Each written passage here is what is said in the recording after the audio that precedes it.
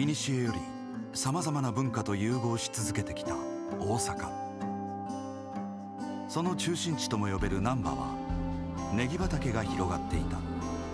そして1990年以降関西国際空港の開港に伴い空港特急ラピートを運航開始。